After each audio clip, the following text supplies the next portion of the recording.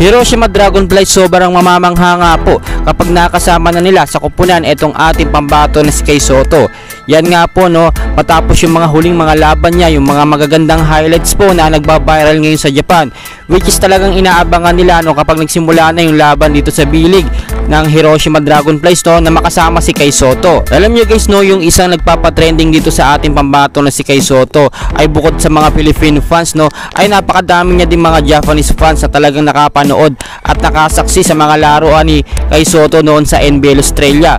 Pero disappointed din ang ilang mga Japanese fans ni Kay Soto dahil nga no, hindi binibigyan si Kay Soto ni Coach CJ Bruto ng mahabang playing time. Kaya naman, dito sa Hiroshima Dragonflies, ang kontrata niya ay umabot sa 20 to 25 minutes na playing time. Which is kahit nga po ang bilig no ay gustong gustong makita ang mahabang playing time ni Kay Soto sa loob ng court.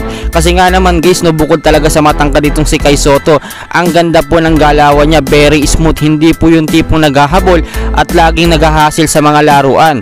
Nakita natin yan guys no yung mga laban ni Kay Soto nito nakaraan sa Adelaide no, yung ah, sa NBA Australia.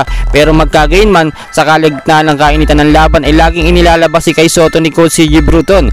Kaya guys, abangan talaga natin itong sa bilig no sa Hiroshima Dragonfly sa paglaro ni Kay Soto. Kaya huwag niyo pong kalimutan mag-like and subscribe for more updates. Maraming salamat po.